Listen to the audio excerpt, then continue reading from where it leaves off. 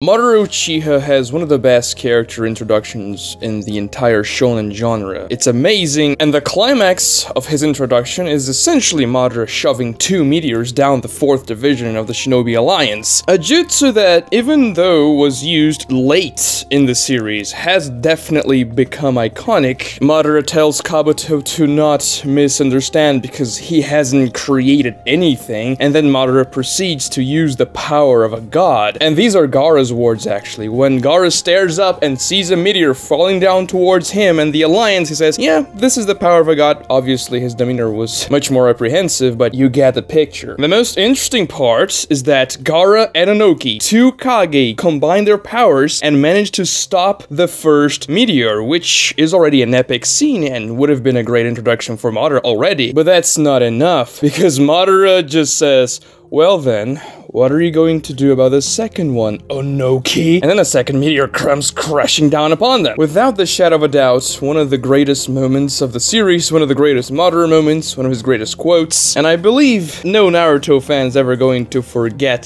the first time they've watched or read those two meteors stacking up on each other, crashing down the Alliance, and the sheer desperation and hopelessness that that caused. Think about this for a second. Naruto Uzumaki is not the type of character that runs away ever. It doesn't matter how screwed he is, he always faces his problems head on. That's why they call him the number one knucklehead shinobi. And the dude kind of backs that up because, for instance, in the Land of Waves, they were facing one of the most dangerous and deadliest jonins ever in Zabuza, and their sensei Kakashi, the only one who could be a match to Zabuza, was captured and pretty much at his mercy. But what does Naruto do? He faces against the demon of the Mist Village, and he manages to free Kakashi from the water prison. And then later on, the Land of Waves, Naruto simply enters Haku's House of Mirrors with no fear whatsoever, even though that was a terrible idea. In the Chunin exams, he faces down Orochimaru, one of the three legendary Sannin, a man who literally paralyzed Sasuke Uchiha, the prodigy of the Leaf Village, by sheer fear and his presence, and Naruto was just like, nah yeah, I'm gonna face this guy, I don't care. And he stops a snake bigger than my... Later on in the Chunin exams, he fights against Gaara, the guy who's been killing people and turning them into mush non-stop, and he literally saw him doing so a few hours before. And then Gaara transforms into this gigantic sand monster that's supposed to put fear in the hearts of anyone who's going to face it. And Naruto's just like, nah man, just leave that to me. I'm gonna face this thing. And he does so. When Itachi and Kisame knock on his door and literally capture Naruto, sure, he kind of goes along with them, but then he doesn't try to run away.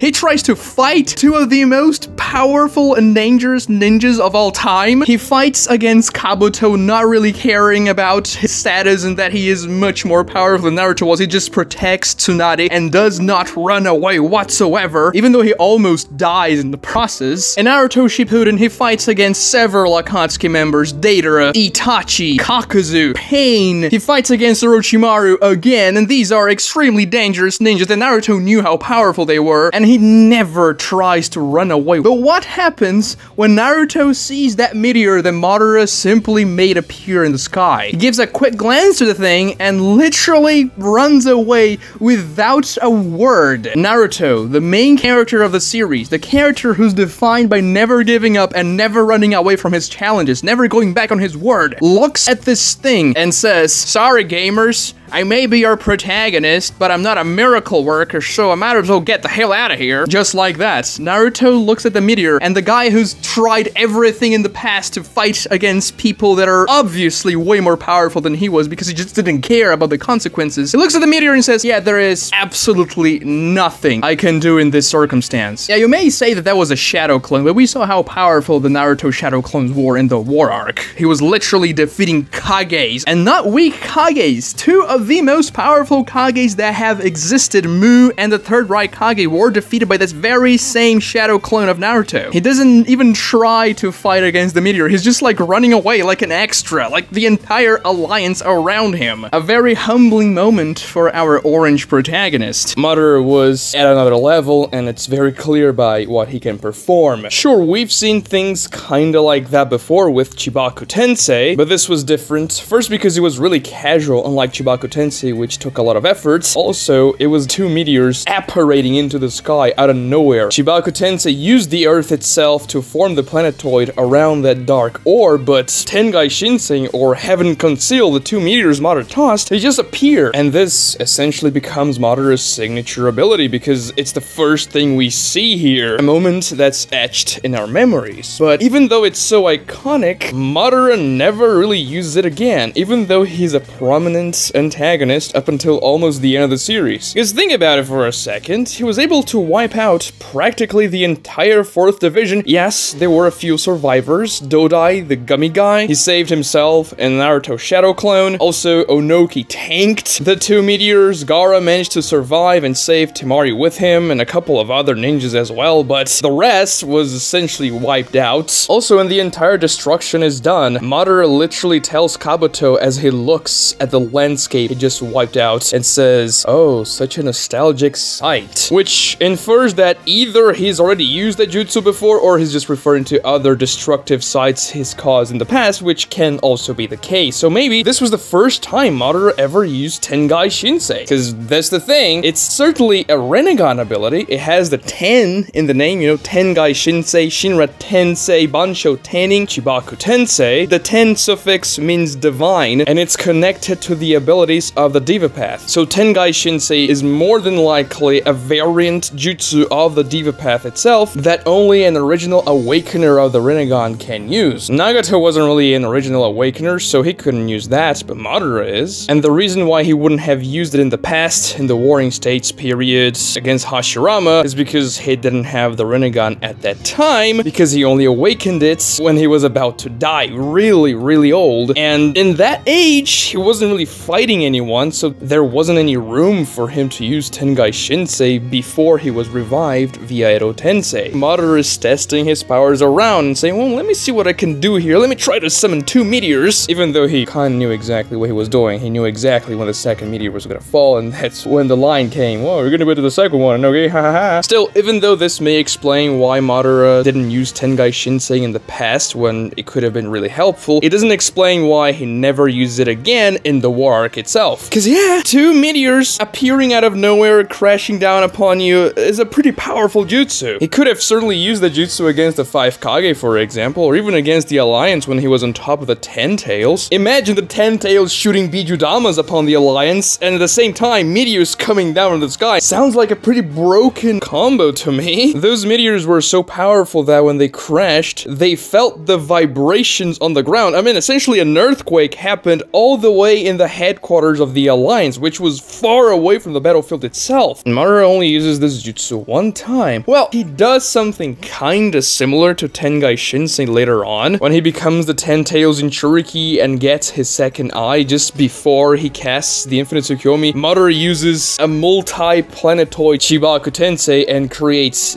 dozens of planetoids above the Alliance, and then he tosses them down. He has another really cool line before he tosses them down. He says, oh, these may be a little bit heavier than raindrops, but that's the thing. It's a different process and a different jutsu. That was Chibaku Tensei. You clearly see Madara creating the dark orbs that suck Earth into them, forming the planetoids, and then he simply tossed the planetoids down. But Tengai Shinsei, aka Heaven Concealed, simply creates the meteors out of thin air or summons them, however you want to call it. We don't know exactly the mechanics, but you don't really require a Chibaku Tensei orb to pull Earth from the ground and then toss them down. So Madara only uses Tengai Shinsei once, even though that usage of Chibaku Tensei may feel similar. So we have to take a look at how this jutsu works and why would Madara not want to use it after the first time. In order for you to activate Heaven Concealed, you have to weave three simultaneous hand signs. Madara uses our corporeal Susanoo to weave two of those hand signs and weaves the third himself. There would be other options if he couldn't use the Susanoo. For example, he could use the Asura Path and sprout out those weird mechanic limbs. Or in theory, he could even use wood clones if he needed to, or even shadow clones, but he used the Susanoo. Weaving simultaneous hand signs is a type of limitation here. If you think about it, casting Chibaku Tensei is easier by default because it only requires one very simple hand sign. You clap your hands together, and that's the cast for Chibaku Tensei. You don't have to weave three hand signs at the same time. But even still, it's not as as though Madara can't really use his Susanoo, is it? He has a thing out almost all the time, so it wouldn't be a real problem for him to wave three hand signs simultaneously. But you know, it is a sort of limitation. So let's take a look at the fights Madara participates and determine why he chose not to use Tengai Shinsei in any of them after he first fought the 4th Division. First, he fights against the 5 Kage. Now, there's one thing that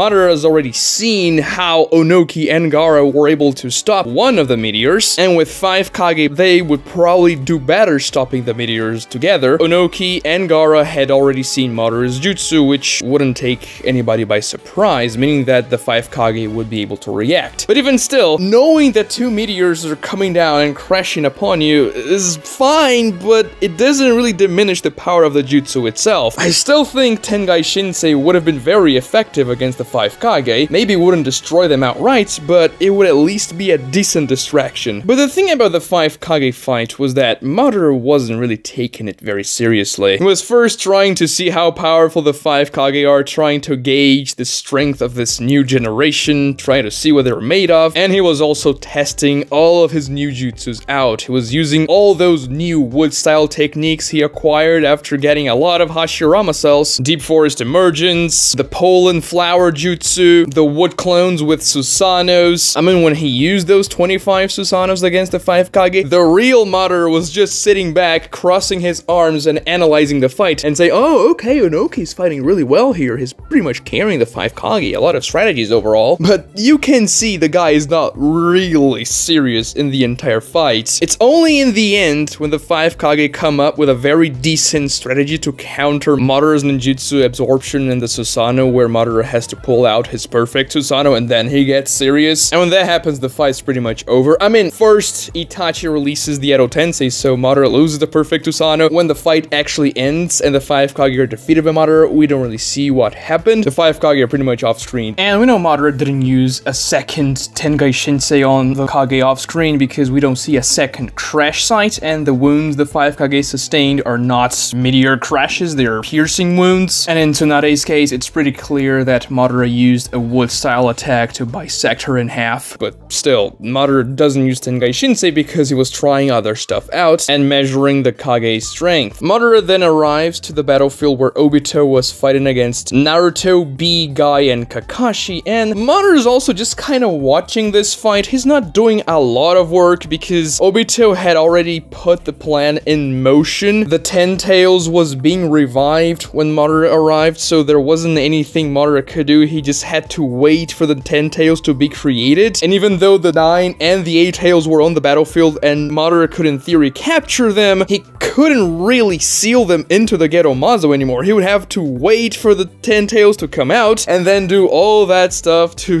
seal the Ten Tails into the Gedo Mazo again and then get the Nine and the Eight Tails. But in the meantime, he was just chilling and testing out new techniques, just like he was doing in the 5 Kage fight. He uses his Wood Dragon and pretty much stops Naruto's Kurama avatar with a very simple jutsu. And other than that, Madara's just kind of watching things unfold here because he doesn't have a lot to do. And he cannot kill Naruto and B because then the 8 and 9 tails would die and it would take a long time for them to reappear in the world, which would set back Madara's plans. But then the 10 tails appears, and as we saw before, Madara doesn't really use Tengai Shinsei anymore here. He's just using the 10 tails, shooting Bijudamas, and pretty much sitting on top of the 10 tails' head the entire time with his arms crossed, looking at what the Alliance is doing. And he does that because he wants to test the 10 tails' powers. Obito literally tells him, You're like a child wanting to play with your new toy, aren't you, Madara? That's why you want to use the 10 tails. But then he says, No, because children are naive and impatient. And he wasn't either of those things. He doesn't use Tengai Shinsei here because he's trying out the Ten Tails powers, and well, why would he try out something that he knows how to do? It's not as though they were in danger or anything, they were just waiting for the Ten Tails to mature so that one of them could become the Jinchuriki, which eventually happens. But before that, Madara fights against Hashirama again, Edo Tensei versus Edo Tensei, and in this situation here, unlike in the previous situation, the Valley of the End, when Madara didn't have a Rinnegan, he can use Tengai Shinsei as an Edo Tensei versus Hashirama. And yet, he doesn't. I mean, we technically don't see that entire fight unfolding on screen because it's pretty much implied what's happening here and there, but we don't see the entire picture. But I'm pretty sure that if Madara had summoned two gigantic meteors into the battlefield, we would have seen it happening, even if it's from a distance, but this simply doesn't happen. And there are a lot of very wide shots that we see the entire battlefield during that part of the war arc, and we never see meteors laying around anywhere. So Madara simply didn't use those against Hashirama there. And to be honest, it's very simple why he wouldn't choose to do that against Hashirama. First, because he's an Edo Tensei and he can regenerate from the meteors. Second, because if Onoki literally tanked the Tengai Shinsei meteors and Gaara managed to block them with his sand, Hashirama would have no problem blocking them with his wood golem or any other powerful wood style jutsu. So Tengai Shinsei would simply not be effective against a guy like Hashirama. Madara's next fight is after he's revived by Obito's Rinne Tensei and he fights against all nine tail beasts, but he doesn't really use Tengai Shinsei. First because he didn't have his Rinnegan, he was fighting them blind, so he wouldn't even be able to do that. But when he gets his Rinnegan, he immediately uses Limbo and one-shots every single tail beast. There would be no point in using Tengai Shinsei instead of Limbo if the Limbo clone can do the job in two seconds, and Madara couldn't use Limbo when he was an Edo Tensei because the Rinnegan he had as an Edo form wasn't a real one. It was just a projection that could mimic the powers of a Rinnegan, but it was limited. He couldn't summon the Gedo Mazo or use Limbo. But now he can, and Limbo, let's face it, is far more powerful than Tengai Shinsei. Madara then becomes the Jinchuriki of the Ten Tails, and he fights against Might Guy, who opens the 8th gate. And Madara pretty much only uses Truth-Seeking Orbs to fight Guy, but think about it, if he summoned two meteors in the battlefield, sure he can use a Truth-Seeking Orb shield to protect himself, but Guy can certainly outrun the meteor falling down, he wouldn't even be hurt by them. And then when Madara fights against Naruto and Sasuke in their god forms, Sasuke with the Rinnegan and Naruto with Six Path Sage mode, they can easily take care of meteors falling down upon them. It would be ineffective to throw the Tengai Shinsei against them. We literally see how Naruto and Sasuke deal with meteors falling down upon them, tossed by Madara himself with that Chibaku Tensei. Sasuke cuts through them very easily with his perfect Susanoo, and Naruto summons dozens of Bijudama Rasen Shurikens, which explode dozens of Chibaku Tensei meteors. And Madara knew that the Chibaku Tensei wouldn't really kill Naruto and Sasuke there. He just wanted a distraction so that he would have time to cast the Infinite Tsukuyomi. But there's another interesting question here. Why did he use Chibaku Tensei instead of Tengai Shinsei? Because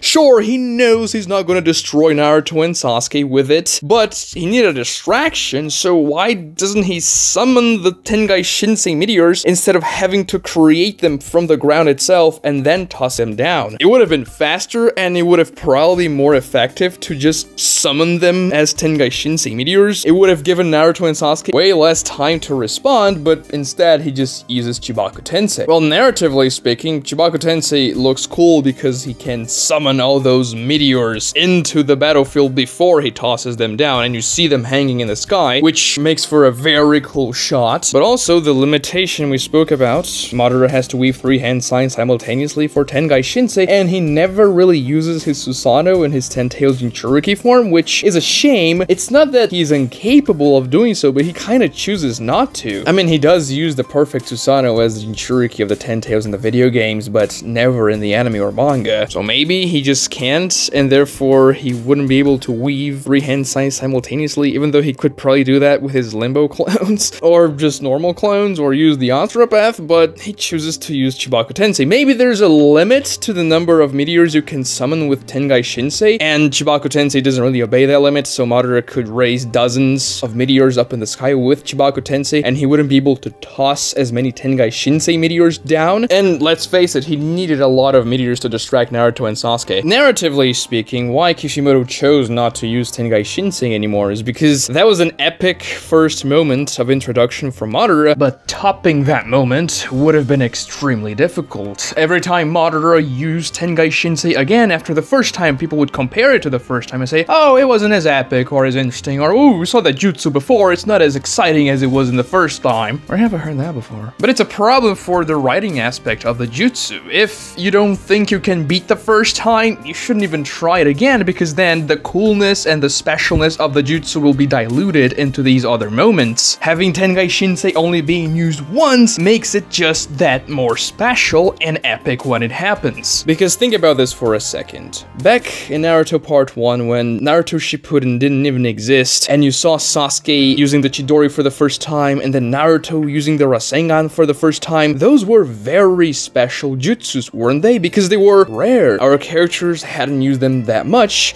and they were extremely cool and well-made jutsus. But now, let's face it, whenever Sasuke used the Chidori in Naruto Shippuden or Naruto used the Rasengan, it's just another Tuesday. The same thing can be said about the Susanoo when Itachi was the only character who had it, and he only used that for a couple of pages in the fight against Sasuke and nobody else had done it. All of a sudden, a lot of people get the Susanoo, and I don't dislike that choice, I'm just saying that it made the Susanoo less unique. The same thing would happen with Tengai Shinsei, even though Madara would be the only person using it, it would make that moment less unique and impactful just because it was not the only time that was used. After that, he thought, okay, I have to keep on giving this guy new jutsus to make him more exciting. If he just repeats the same jutsus over and over again, it'll get a little overbearing. And yes, sure, Madara uses the Susanoo and the Preta Path a lot of times, but it's a different thing entirely from tossing meteors every two seconds. It would get a little obnoxious if that was the only thing Madara could do. Also, the Preta Path Path and the Susanoo are two jutsus with far more versatility and utility than Tengai Shinsei, so from an in-universe perspective, it would make sense for Madara to use them far more often than Tengai Shinsei. Like this video to help me out with the YouTube algorithm, watch this other cool Naruto video right here, and subscribe if you haven't done so already. Thank you so much for watching.